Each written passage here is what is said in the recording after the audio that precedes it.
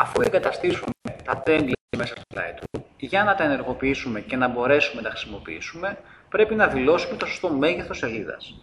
Για να το κάνουμε αυτό, πηγαίνουμε στο Size και από τις κατηγορίες επιλέγουμε το Large Square, όπου το συγκεκριμένο template έχει εγκατασταθεί μέσα σε αυτή τη διάσταση.